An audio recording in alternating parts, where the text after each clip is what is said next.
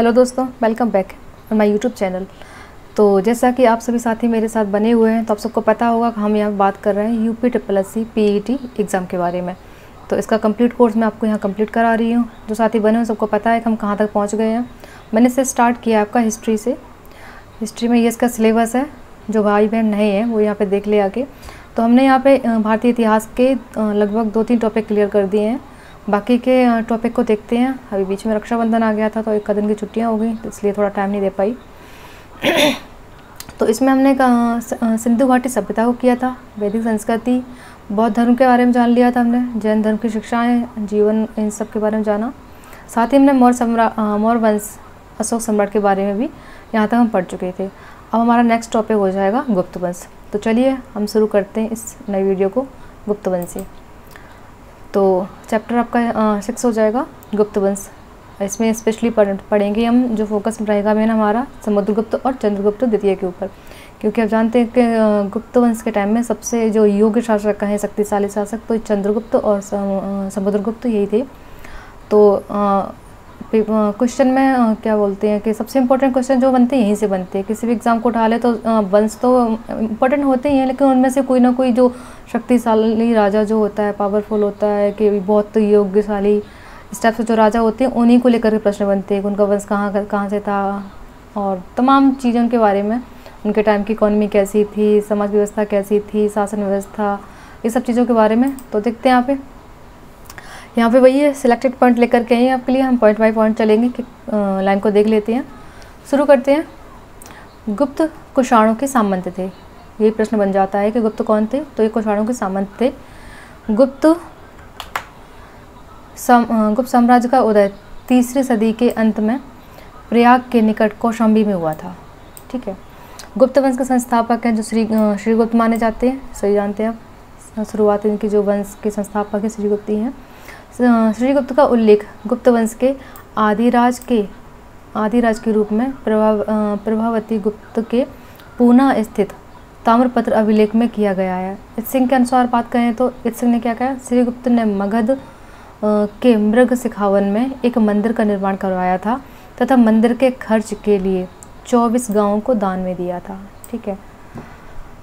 तो यहाँ से इस तरह से उल्लेख प्राप्त होती है इनके बारे में। श्रीगुप्त का शासनकाल जो है 275 से 300 ईस्वी तक माना जाता है। श्री गुप्त ने महाराज की उपाधि धारण की थी। ये कोई बहुत खास इंपॉर्टेंट नहीं लेकिन वह देख लेते हैं, क्योंकि जो मैंने बताया, समुद्रगुप्त और चंद्रगुप्त द्वितीय, इनसे ज़्यादा प्रश्न बनेंगे। ये क्योंकि संस्थापक हैं, इसलिए हो सकता है प्रश्न बन जाए कि इसके संस्थापक कौन थे, इससे एक आध एक आध पॉइंट तो बन ही जाता है एग्ज़ाम के पॉइंट ऑफ़ व्यू से। ठीक है तो श्री गुप्त ने महाराज के, महाराज की उपाधि धारण की थी। एस आर गोयल के अनुसार बात की जाए तो क्या श्रीगुप्त का राजारोहण जो है, लगभग दो सौ पचानवे ईसा पूर्व में होता है ठीक है? दो सौ पचानवे ईसा पूर्व में। श्रीगुप्त ने लगभग तीन सौ ईस्वी में घटोत्कच को अपना उत्तराधिकारी बनाया था, ठीक है? किसे बनाया था? घटोत्कच को। घटोत घटोत्कच को प्रभावती गुप्त के पूना एवं रिद्धपुर ताम्रपत्र अभिलेखों में गुप्त वंश का प्रथम राजा बताया गया है। क्योंकि उत्तराधिकारी बताया तो यहीं से ये चीज़ पता चलती है। घटोत्कच के उत्तराधिकारी के रूप में चंद्रगुप्त प्रथम 319 ईस्वी में गद्दी पर बैठा। तो घटोत्कच कौन था? यही था चंद्रगुप्त प्रथम। तभी तो इनका नाम पड़ा तो इनका ओबियसली के बेटा ही होगा, पुत्र होगा तो ना उत्तराधिकारी बनाया तो इनका नाम ही था चंद्रगुप्त प्रथम हम इसी नाम ज़्यादा जानते हैं। ये वाला नाम इनका कम एग्ज़ाम में मिलता है कहीं, लेकिन कभी कभी दे दिया जाता है तो इसलिए हमें इसे याद रखना होगा कि श्री गुप्त ने अपना उत्तराधिकारी किसे बनाया तो घटोत्कच को। दूसरा नाम का था चंद्रगुप्त प्रथम, जो तीन सौ उन्नीस ईस्वी गद्दी पर बैठा था। गुप्त वंश का प्रथम महान सम्राट। महान सम्राट कौन था? महान सम्राट चंद्रगुप्त प्रथम था। शुरुआत यहाँ से होती है इस वंश की, अच्छी योग शासक की। इसने महाराज धिराज की उपाधि धारण की थी। चंद्रगुप्त प्रथम ने लिच्छवी कुल की कन्या, क्या नाम था उनका? कुमार देवी से शादी की थी। लिच्छवी कुल की थी कन्या, कुमार देवी से विवाह किया था। चंद्रगुप्त प्रथम ने गुप्त संवत चलाया था, जिसका प्रथम वर्ष 26 फरवरी 320 से और 15 मार्च 321 तक था। ईस्वी है शक संबत तथा गुप्त संबत के बीच लगभग 242 वर्ष का अंतर रहता है। चंद्रगुप्त प्रथम ने 319 ईस्वी से 335 ईस्वी तक शासन किया। इतना यहाँ तक इनके शासन का टाइम है। 319 में गद्दी पर बैठे थे। उसके बाद में 35 तक ही बने रहे थे।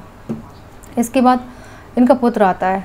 चंद्रगुप्त प्रथम ने अपने पुत्र को उत्तराधिकारी बनाने के बाद संन्यास ले लिया। जब इनका पुत्र उत्तराधिकारी बन जाता है इनके बाद में तो ये सन्यासी बन जाते हैं, संन्यास ग्रहण कर लेते हैं, ठीक है। तो कौन आता है फिर? इसके बाद आते हैं भैया समुद्रगुप्त। जो कि 335 में राजगद्दी पर बैठता है। समुद्रगुप्त के दरबारी कवि हरिशरण थे। ये बहुत फ़ेमस क्वेश्चन है। ठीक है। हरिशरण ने इलाहाबाद के प्रयाग हरिशरण ने प्रशस्ति लेख में समुद्रगुप्त के विजय अभियानों का उल्लेख किया है। ये प्रश्न भी यहाँ से इम्पोर्टेंट बनता है। किसने? हरिशरण ने। ठीक है। समुद्रगुप्त ने अपनी विजयों की घोषणा के लिए अश्वमेघ यज्ञ संपन्न कराई थी। किसके लिए?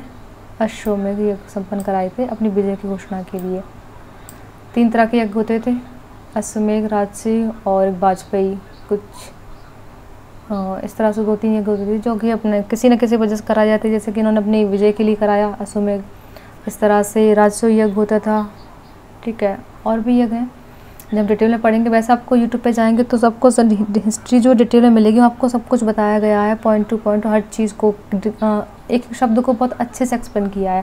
मैं सिर्फ़ यहाँ पर रिवीजन करा रही हूँ आपका, जिससे आपका टाइम ख़राब ना हो। कम टाइम में आपका पूरा हिस्ट्री कंप्लीट कराने वाली हूँ। आगे देखते हैं, समुद्रगुप्त के सिक्कों पर कुछ अश्वमेघ खुदा है, सिक्कों पर। समुद्रगुप्त ने छः प्रकार के छः प्रकार की स्वर्ण मुद्रा जारी की। वो कौन कौन सी थे प्रकार? इसमें गरुण धनुर्धर परशु अश्वमेघ व्याघ्रहंता और वीणा शरण ये छह प्रकार की सो, सोने की मुद्राएँ थी जारी की थी। समुद्रगुप्त की गरुण स्वर्ण मुद्रा सबसे लोकप्रिय है। ये जो ये वाली है गरुड़ जो है सबसे इम्पोर्टेंट मानी जाती है। सबसे लोकप्रिय है। श्रीलंका के राजा मेघवर्मन ने कुछ उपहार भेजकर समुद्रगुप्त से गया में एक बौद्ध मंदिर बनवाने के लिए अनुमति मांगी थी। कहाँ के राजा थे? श्रीलंका के। हो सकता है आपसे पूछे जाए कि किसी देश के राजा ने समुद्रगुप्त से परमिशन मांगी थी कि हमें बौद्ध मंदिर बनवाना है। तो किसने मांगी थी? श्रीलंका के राजा मेघवर्मन ने। भारतीय इतिहास में समुद्रगुप्त को क्या कहा गया है? आप सभी जानते हैं, बहुत इंपॉर्टेंट प्रश्न है ये। कई बार पेपर में पूछा गया है। तो भारतीय इतिहास में समुद्रगुप्त को भारतीय नेपोलियन के नाम से जाना जाता है। समुद्रगुप्त को सौ युद्धों का विजेता भी कहते हैं। इसे कविराज की, इसने कविराज की उपाधि धारण की थी, यानी कि समुद्रगुप्त को कविराज भी कहा जाता है। समुद्रगुप्त ने 335 ईस्वी से 375 ईस्वी तक शासन किया। इसकी मृत्यु के बाद रामगुप्त राजा बनता है, जो कि एक अयोग्य शासक था, कोई बहुत तो योग्य शासक नहीं था। तो रामगुप्त ने अपनी ध्रुव देवी, इनकी पत्नी थी ध्रुव देवी, को एक अत्याचारी शक के हाथों में समर्पित कर दिया। और इसलिए है कि जब ये योग्य शासक नहीं रहे होंगे, अयोगी होंगे, तभी तो किसी राजा के सामने इस शक का जब आक्रमण हुआ होगा तो अपने बीवी को उनके सामने सौंप दिया होगा। अगर अच्छे राजा होते समुद्रगुप्त या चंद्रगुप्त द्वितीय की तरह तो टक्कर होती। मुकाबला होता बराबर का, लेकिन उन्होंने अपनी बीवी को समर्पण कर दिया उसके सामने। क्या होता है कि फिर रामगुप्त की हत्या कौन कर देता है? चंद्रगुप्त द्वितीय कर देता है इनका। इनका भाई होता है। चंद्रगुप्त द्वितीय 375 ईस्वी में गद्दी पर बैठता है। चंद्रगुप्त द्वितीय ने विक्रमादित्य की उपाधि धारण की। ये इम्पोर्टेंट पूछा जाता है कि चंद्रगुप्त द्वितीय ने किसकी उपाधि धारण की थी? विक्रमादित्य की। चंद्रगुप्त द्वितीय शकों पर विजय प्राप्त करके शकारी कहलाने लगा। ये भी प्रश्न पूछा जाता है कि चंद्रगुप्त द्वितीय जो है, जब शकों पर विजय प्राप्त कर लेता है तो क्या कहलाता है? तो शकों पर विजय प्राप्त करने के, क्योंकि शक शक से बनता शकारी तो इसलिए ये शकारी की उपाधि धारण करता है, ठीक है? शक का राज्य शक का राज्य अंत, चंद्रगुप्त द्वितीय ने किया क्या पढ़ के आए। शकों को पराजित करने के उपलक्ष्य में चंद्रगुप्त द्वितीय ने चांदी के, किसके? जब शकों को पराजित करता है तो उसके उपलक्ष्य में चांदी के विशेष सिक्के जारी किए। चंद्रगुप्त द्वितीय को देवराज तथा देवगुप्त के नाम से भी जाना जाता है। कई नाम थे। जब कोई फ़ेमस हो जाता है तो उसे बहुत नाम दे दिए जाते हैं। कोई किसी नाम से पुकारता है, कोई किसी से ऐसे इतिहास में इनके लिए है। विक्रमादित्य की उपाधि, कविराज क्या बोलते कविराज समुद्रगुप्त थे। देवराज है गुप्त देव हैं, इस तरह से अलग अलग नाम से इन्हें जाना जाने लगा। चंद्रगुप्त द्वितीय ने अपनी पुत्री, क्या नाम था इनका, प्रभावती का विवाह वाकाटक नरेश रुद्रसेन से किया। चंद्रगुप्त द्वितीय ने अप्रत्यक्ष रूप से वाकाटक राज्य को अपने राज्य में मिलाकर उज्जैन को अपनी दूसरी राजधानी बनाया। किसे? उज्जैन को। इसने, इसके दरबार में नौ रत्न थे। चंद्रगुप्त द्वितीय के दरबार में कालिदास, जो कि एक कवि और नाटककार थे, आर्यभट्ट, जो कि नक्षत्र वैज्ञानिक थे, बरामिर, एक नक्षत्र वैज्ञानिक थे ये भी, ठीक है। ब्रह्मगुप्त, ये भी नक्षत्र वैज्ञानिक थे। धनवंतरी, एक चिकित्सक थे, अमर सिंह। ये सभी यहाँ पे इनके दरबार में नवरत्न थे। चीनी यात्री फायन की बात करें तो चंद्रगुप्त के समय में भारत आया था। ठीक है, कभी प्रश्न पूछा जाता है कि चीनी यात्री फायन किसके समय में भारत आया था? तो चंद्रगुप्त द्वितीय के समय में ही भारत आया था। चंद्रगुप्त द्वितीय के संबंध में मेहरोली शिलालेख से जानकारी प्राप्त होती है। किससे, किस शिलालेख से? तो मेहरौली शिलालेख से जानकारी प्राप्त होती है चंद्रगुप्त द्वितीय के बारे में। चंद्रगुप्त द्वितीय ने 375 ईस्वी से 415 ईस्वी तक शासन किया। काफ़ी लंबा टाइम रहा। पच्चीस हज़ार पंद्रह ये, ठीक है, इतने साल तक शासन किया।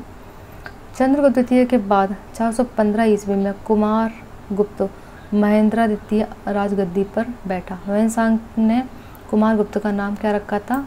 शक्रादित्य। किसने रखा था? हुएंसांग ने। जो कि चंद्रगुप्त द्वितीय के बाद में गद्दी पर बैठा था।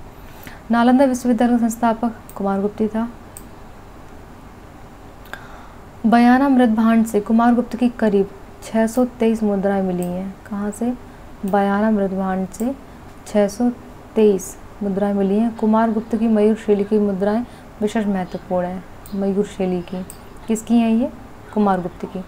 कुमार गुप्त को अपने शासन के अंतिम समय पुष्यमित्र जातियों के विद्रोह का सामना करना पड़ा। तो कुमार गुप्त का किससे साम, सामना हुआ था? जब लड़ाई हुई थी तो उनका सामना हुआ था। पुष्यमित्र जातियों के सामने ने विद्रोह हुआ था उनका सामना करना पड़ा था ठीक है? कुमार गुप्त ने 415 ईस्वी से 455 तक शासन किया ठीक है? इनका भी टाइम पीरियड ठीक ठाक ही रहा है।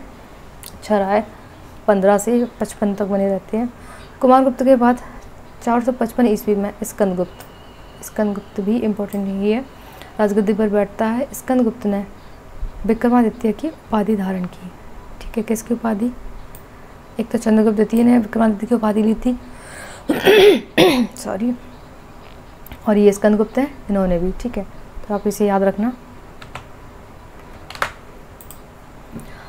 स्कंदगुप्त ने गिरिनार पर्वत पर स्थित सुदर्शन झील के पुनरुद्धार का कार्य कार्य गवर्नर पंडित के पुत्र चक्रपालित को सौंपा था। किसे सौंपा था? चक्रपालित को। सुदर्शन झील जो बनी हुई है, कहाँ पे सुदर्शन झील आप लोग बताएँगे। ये कहाँ पर बनी हुई है? मैं आपको हल्का सेंड कर देती हूँ। भारत भारत का नक्शा अगर देखते हैं आप तो आप अगर नॉर्थ की साउथ साउथ में मुँह की ओर खड़े हैं तो आपके लेफ़्ट में पड़ेगा ठीक है? तो बताइए। कि कहाँ पड़ता है सुदर्शन झील? इसका पुनरुद्धारण उसने करवाया था। चंद स्कंदगुप्त के शासनकाल में होड़ों का भारत पर आक्रमण हुआ था। ये बहुत इम्पोर्टेंट है कि किसके काल में होड़ों का आक्रमण हुआ था? तो स्कंद गुप्त के टाइम में होड़ों का भारत पर आक्रमण हुआ था। स्कंद गुप्त को कहोम स्तंभ लेख में शक्रोपम, क्या कहते हैं? शक्रोपम। और जूनागढ़ अभिलेख में श्री परि परिक्षिप्त वृक्षा कहा गया है। क्या कहा गया है? स्कंद गुप्त को कहोम स्तंभ लेख में सक्रोपम और जूनागढ़ अभिलेख में श्री परिक्षिप्त वृक्षा कहा गया है। गुप्त वंश का अंतिम महान सम्राट स्कंद गुप्त ही था, क्योंकि महान था इसलिए इसके बारे में कहा जाता है। अंतिम महान सम्राट तो स्कंद गुप्त इसने 455 से चार सौ सड़सठ तक शासन किया। इसके बाद स्कंद गुप्त का सौतेला भाई, क्या नाम था? पूर्वगुप्त इम्पोर्टेंट नहीं है, बस देख लीजिए अब तो वो गद्दी पर बैठता है। पूर्वगुप्त ने श्री विक्रम की उपाधि धारण की। इसने चार सौ सड़सठ से चार सौ छिहत्तर तक शासन किया। कोई मतलब नहीं है। आगे देखते हैं। पूर्वगुप्त के बाद नरसिंह गुप्त, कुमार गुप्त द्वितीय बुद्धगुप्त वैन्यू गुप्त भानुगुप्त कुमार गुप्त द्वितीय विष्णुगुप्त इतने सारे आए। लेकिन कहते हैं ना कि प्रतापी और सम्राट बढ़िया जो अच्छा राजा, योग्य कहें। तो स्कंद गुप्त के बाद फिर कोई भी इसके वंश में नहीं आया। अंतिम वही था। फिर तो ये टुटपुंजिया टाइप के आते गए छोटे मोटे जिन्होंने कोई अपना इतिहास में खास नाम दर्ज नहीं करा पाए। तो हुणु का इतिहास हुणु का द्वितीय आक्रमण जो है, हुणु का द्वितीय आक्रमण भानुगुप्त के शासनकाल में हुआ। अब ये नई लाइन है तो इसे थोड़ा सा याद रखें कि पहले जो स्कंद गुप्त के टाइम में होता है, हुणु का जो दूसरा आक्रमण होता है, वो भानुगुप्त के टाइम में होता है। गुप्त काल में राजपद वंशाणु का सिद्धांत पर आधारित था। वंशाणु का चलता था क्या राजपद जो? गुप्त सम्राट न्याय न्याय, सेना, दीवानी विभाग का प्रधान होता था। कौन? गुप्त सम्राट। गुप्तकालीन रानियों को, गुप्तकालीन रानियों को परम भट्टारिका परम भट्टारिका रागी तथा महादेवी उपाधियाँ दी गई हैं गुप्त काल में रानियों को। कौन कौन सी उपाधियाँ दी गई हैं? तो परम भट्टारिका परम भट्टारिका रागी और महादेवी जैसी उपाधियों से इन्हें विभूषित किया गया है रानियों को। गुप्त काल में राजा की तुलना किससे की गई है? कुबेर, वरुण, इंद्र और यमराज। इनसे गुप्त काल में राजा की तुलना की गई है। किनसे की गई? फिर से देखते हैं। कुबेर से की गई है, वरुण से की गई है, इंद्र से और यमराज से। गुप्त काल में प्रांतीय प्रशासकों को प्रांतों में पाँच वर्षों के लिए नियुक्त किया जाता था। गुप्त काल में प्रांतीय प्रशासकों को कितने वर्षों के लिए? पाँच वर्षों के लिए नियुक्त किया जाता था। गुप्त काल में नगरों का प्रशासन, नगरों का जो प्रशासन होता है, वो नगर महापालिका द्वारा चलाया जाता था। गुप्त काल में शासन की सबसे छोटी इकाई जो है गाँव होती थी। आज भी हमारे टाइम में सबसे छोटी इकाई गाँव ही होता है। गाँव से छोटा फिर क्या है? गुप्त काल में भू राजस्व कुल उत्पादन का एक बटे चार से एक बटे छः भाग तक होता था। कितना होता था? गुप्त काल में अगर भू राजस्व की बात की जाए तो वो होता था एक बटे चार से लेकर के एक बटे छः भाग तक होता था। गुप्त काल में उज्जैन नगर सर्वाधिक महत्वपूर्ण व्यापारिक स्थल था। उज्जैन जो है, व्यापारिक दृष्टि से बहुत महत्वपूर्ण था। क्या? उज्जैन। गुप्त काल की स्वर्ण मुद्राओं को अभिलेखों में दीनार कहा गया है। कैसी मुद्राओं को? सोने की मुद्राओं को गुप्त के टाइम में दीनार कहा गया है। दासों को दासत्व से मुक्त कराने का प्रथम प्रयास नारद ने किया था। दासों को दासत्व से मुक्त कराने का प्रथम प्रयास नारद ने किया था। सती होने का प्रथम प्रमाण 510 ईस्वी के भानुगुप्त। ये मैंने कहा था उस टाइम भानु का नाम पढ़ा था। जब तो होणों का द्वितीय आक्रमण हुआ तो भानुगुप्त के एरण अभिलेख में मिलता है। इसलिए भानुगुप्त जो है, थोड़े से इंपॉर्टेंट हो जाते हैं, क्योंकि एक तो भानुगुप्त का एरण अभिलेख है और दूसरा इनके टाइम में हुड़ों का दूसरा आक्रमण हुआ था। गुप्त शासकों का व्यक्तिगत धर्म वैष्णव धर्म था। ठीक है, क्या धर्म था? वैष्णव धर्म था इन लोगों का। शिव के अर्धनारीश्वर रूप की, शिव के अर्धनारीश्वर रूप की कल्पना एवं शिव तथा पार्वती की एक साथ मूर्तियों का निर्माण सबसे पहले गुप्त काल में ही आरंभ हुआ था। शैव एवं वैष्णव धर्म के समन्वय को दर्शाने वाले भगवान हरिहर की मूर्तियों का निर्माण गुप्त काल में ही हुआ था। इसका शैव एवं वैष्णव धर्म के समन्वय को समन्वय को दर्शाने वाली भगवान हरिहर की मूर्तियों का निर्माण गुप्त काल में हुआ था। त्रिमूर्ति पूजा के अंतर्गत ब्रह्मा, विष्णु, महेश। त्रिमूर्ति पूजा जो होती है, त्रिमूर्ति कहते हैं, त्रिमूर्ति देव त्रिमूर्ति देव जो है, वो यही है। ब्रह्मा, विष्णु महेश। तो इनकी पूजा जो है, कहाँ से आरंभ होती है? गुप्त काल से ही आरंभ मानी जाती है।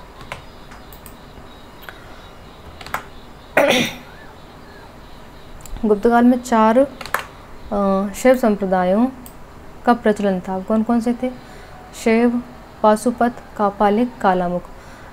अभी तो यहाँ पे सिर्फ़ आपको नाम दे रखे हैं, लेकिन आप चैनल पर जाकर अच्छे से विज़िट करते हैं, डीप में इसकी जानकारी चाहते हैं तो वह आपको सब कुछ बताया गया कि सिर्फ़ कौन थे, पशुपत कौन थे, क्या करते थे, कैसा इनका रहन सहन था कापालिक का क्या वेशभूषा थी, किस तरह से रहते थे, क्या इनके कार्य थे कालमुख ये सब चीज़ें सभी चारों संप्रदाय के बारे में अच्छे से डिटेल में आपको बताया गया वहाँ पर तो आप देखना चाहें तो चैनल पर जाइए और अच्छे सर्च करके डाल दीजिए वहाँ पे इस धर्म के बारे में कि सब समुदाय से जुड़ी सारी चीज़ें बारे में जानकारी चाहिए तो वहाँ पर मिल जाएगा।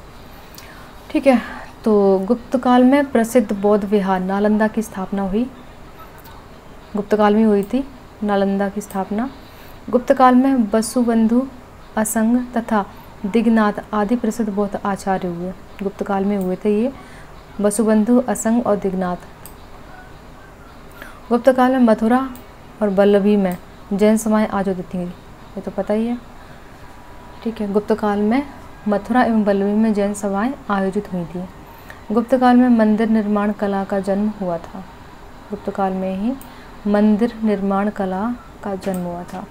सारनाथ में बैठे हुए बुद्ध की मूर्ति, मथुरा में खड़े बुद्ध की मूर्ति एवं सुल्तानगंज में तांबे की मूर्ति तांबे की मूर्ति तांबे की बुद्ध की मूर्ति गुप्तकाल की बुद्ध मूर्तियाँ हैं। यानी कि सारनाथ में जो बुद्ध की मूर्ति है, मथुरा में खड़े हुए बुद्ध की मूर्ति है और सुल्तानगंज में जो तांबे की बुद्ध की मूर्ति है, ये सभी कब की हैं? ये गुप्त पीरियड की हैं। भगवान शिव के एक मुखी एवं चतुर्मुखी शिवलिंग का निर्माण गुप्त काल में हुआ। गुप्त काल में इसका मतलब बहुत सारे काम हुए। औरंगाबाद में स्थित अजंता की गुफाएँ मोस्ट इंपॉर्टेंट है। औरंगाबाद में स्थित अजंता की गुफाओं तथा ग्वालियर के समीप स्थित बाघ पर्वत गुफाओं की चित्रकारी गुप्त काल की ही देन है। ठीक है। अजंता के चित्र तकनीकी दृष्टि से अजंता के चित्र तकनीकी दृष्टि से विश्व में प्रथम स्थान रखते हैं।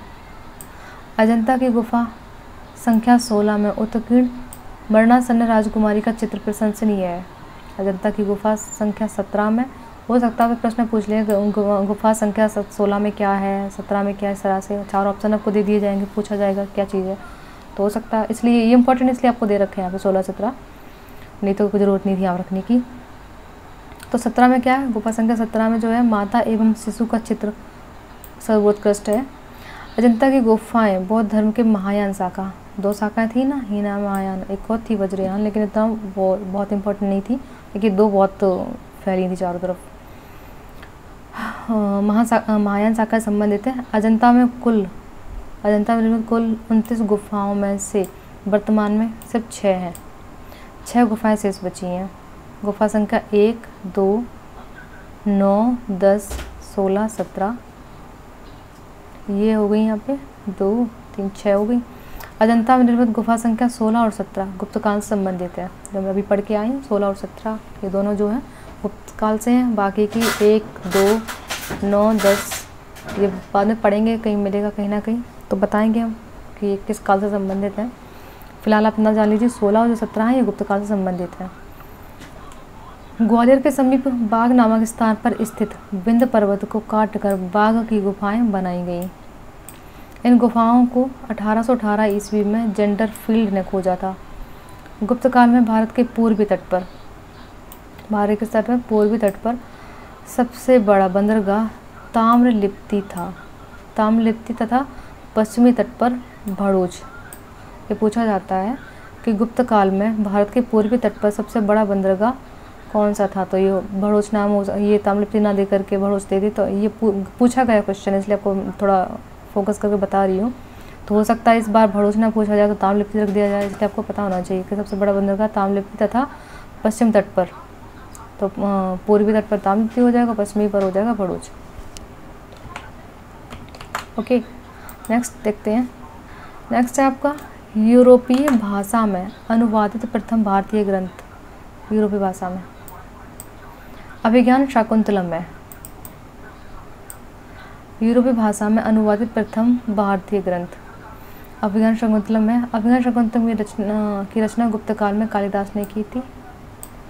पंचतंत्र की गणना संसार के सर्वाधिक प्रचलित ग्रंथ बाइबल के बाद दूसरे स्थान पर की जाती है। इतना इम्पोर्टेंट ये ग्रंथ है। ये पंचतंत्र जो रचना है, इतनी इम्पोर्टेंट है। यानी कि बाइबल के बाद दूसरे स्थान पर की जाती है इसकी गणना। पंचतंत्र की रचना गुप्त काल में विष्णु शर्मा ने की थी। गुप्त काल में आय का मुख्य साधन भू राजस्व ही था। ज़्यादातर टाइम से हम देखते हैं तो यही बना रहा था, शुरुआत में शिकार करना, फिर पशुपालन करना, फिर व्यवसाय करना इस तरह से धीमे धीमे करके इम्प्रूवमेंट होता गया इनमें। और यहाँ पे आके गुप्त काल में ये भू राजस्व इनका मुख्य साधन बन गया, इनके आय के स्रोत का। तो गुप्त काल में अठारह प्रकार के कर थे। देखिए कितने प्रकार के, आज देखिए कितने सारे हो गए। अब कमेंट करके बताइए आज के टाइम में कौन सा कर चल रहा है, कौन सा टैक्स लिया जाता है हमसे। गुप्त काल में संस्कृत राष्ट्रभाषा बन गई थी। गुप्त काल में उच्च शिक्षा का केंद्र नालंदा था। It is very important question प्राचीन भारत के इतिहास में गुप्त काल का वही महत्व है जो यूनान के इतिहास में पेरिक्लियन युग का है। फिर से देखते हैं इस पॉइंट को। भारतीय इतिहास प्राचीन भारत के इतिहास में गुप्त काल का वही महत्व है, जो यूनान के इतिहास में पेरिक्लियन युग का है, ठीक है। स्मिथ ने गुप्त काल की तुलना ब्रिटिश इतिहास के एलिजाबेथ तथा स्टुअर्ट के कालों से की है। गुप्त काल को भारतीय इतिहास का स्वर्ग युग कहा जाता है, ये इंपॉर्टेंट है। इन इन पे आप इतना ध्यान ध्यान ना दें आप, लेकिन इस लाइन को थोड़ा अच्छे से पढ़ लीजिए कि गुप्त काल को भारतीय इतिहास का स्वर स्वर्ग कहा जाता है। हाँ आगे देखते हैं चल के। नेक्स्ट है आपको। गुप्त काल के सर्वाधिक लोकप्रिय देवता विष्णु थे। ये गुप्ता एम्पायर है, देखिए कहाँ से किस तरह से कितना फैला हुआ था, काफ़ी जगह में है।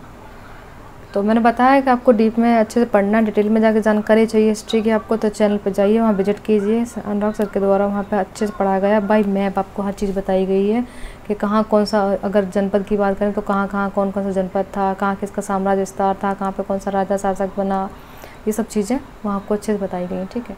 चलते हैं अगले पॉइंट पर आगे हमारी ये टेबल जो नवरत्न, आगे देखते हैं गुप्त सम्राट के चंद्रगुप्त द्वितीय के नवरत्न। यानी हमने अभी थोड़ी देर पहले पढ़ा था कि इनके दरबार में कौन कौन नवरत्न थे तो वहाँ देख लेती ये नवरत्न है। रत्न है इनके, ये क्षेत्र है इनके और ये रचनाएँ हैं। तो हरिशरण ये किस क्षेत्र से संबंधित हैं? ये हैं कवि थे एक और इनकी जो प्रसिद्ध कृति है प्रयाग प्रशस्ति से फ़ेमस हुए थे ये। ठीक है, बराहमिर, ये किस क्षेत्र में खगोल विज्ञान में, उनकी रचना है बृहद संहिता।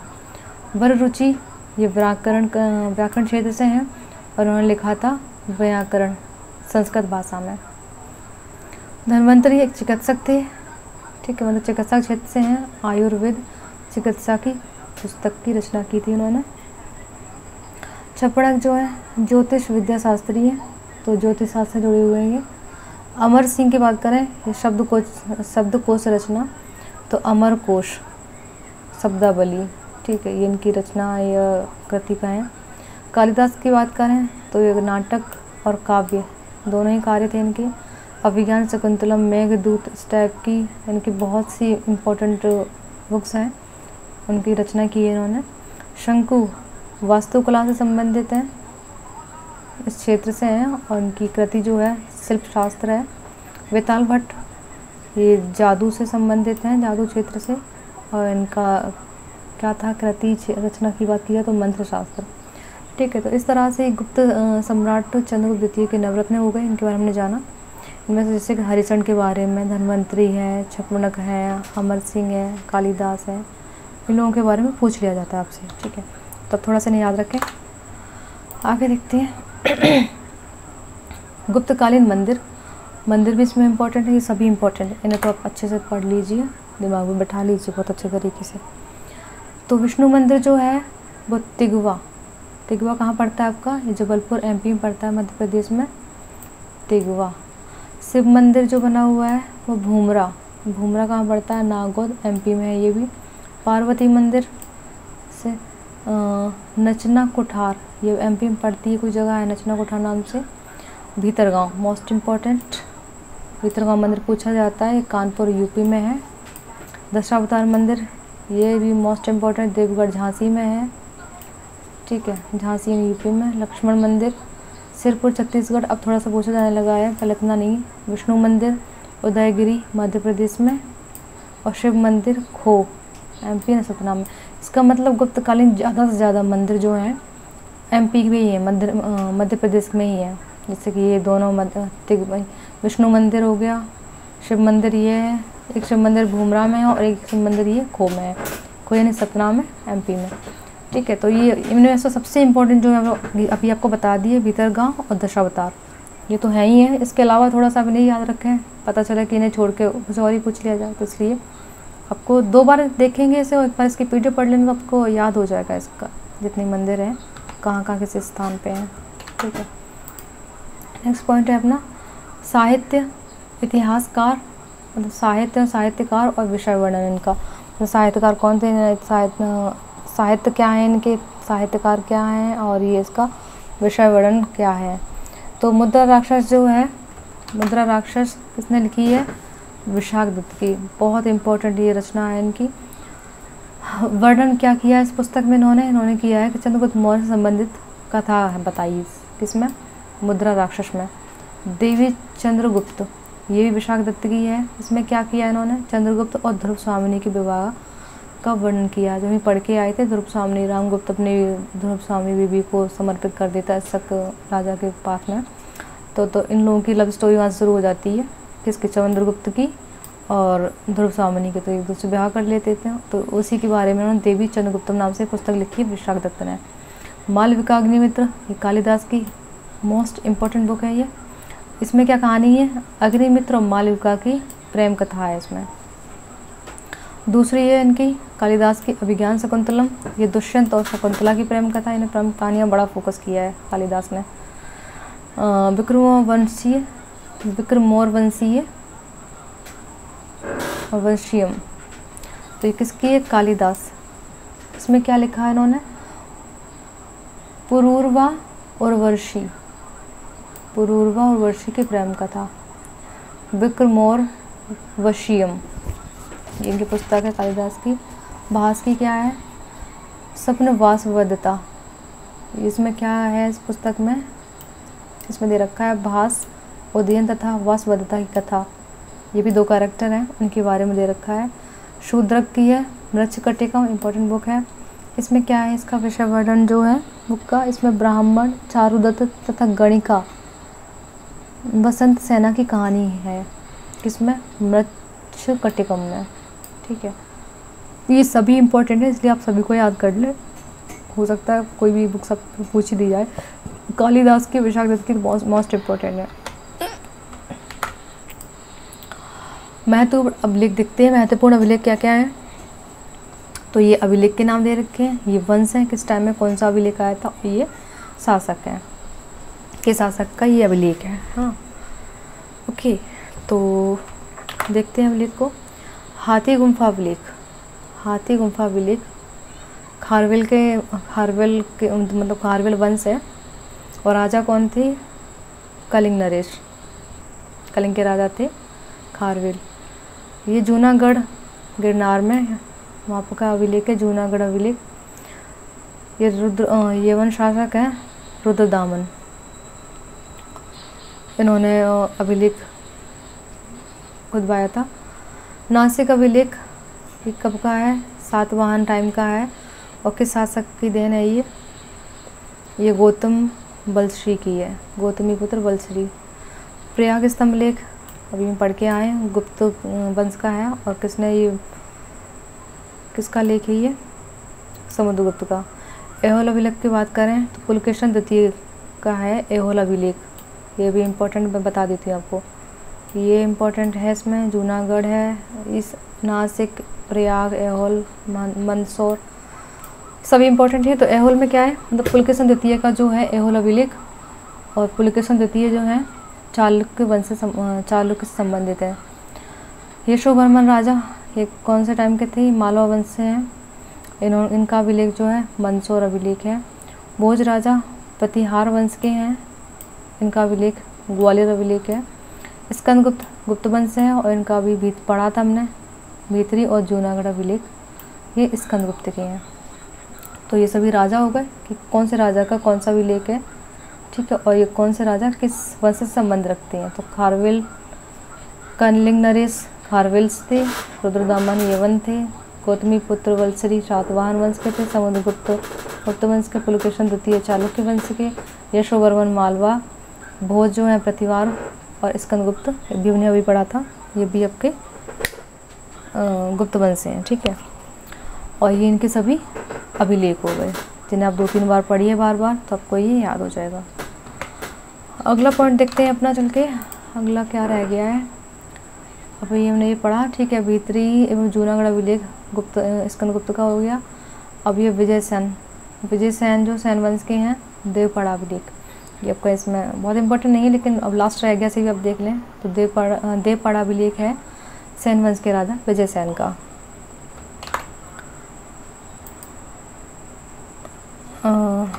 चलिए, देखते हैं। तो आज की क्लास तो आई थिंक कंप्लीट हो चुकी है। तो बस आपसे ये रिक्वेस्ट करूँगी कि पढ़ाई में लगे रहिए टाइम को वेस्ट ना कीजिए। कंफर्ट जोन में जाने का कोई मतलब नहीं है। अगर हमने पढ़ाई स्टार्ट की है तो कंटिन्यू बना के रखिए। बीच में गैप किया तो पढ़, पढ़ने मन नहीं करता है। बाकी की चीज़ें देखते रहिए, अपना रीजनिंग है मैथ है, जो भी चीज़ें आपके अदर भी एग्ज़ाम आपके आने वाली होंगी, पेट के अलावा ऐसा तो है नहीं कि आपने इसी का फॉर्म अप्लाई किया होगा। तो डिटेल में सबको चैनल पे जाके कोई भी सब्जेक्ट देखना है तो आप डिटेल में जाके अच्छे से देखिए। आपको रिवीजन करना है तो रिवीजन यहाँ पे शौक से कीजिए आराम से। कोई दिक्कत नहीं, कोई क्वेश्चन कोई कार्य, कुछ भी सवाल, जवाब हो, कुछ अच्छी, बुरी, कुछ भी बात बतानी हो मेरे बारे में तो प्लीज़ कमेंट करके बताइएगा। तब तक के लिए शुक्रिया thank you bye and take care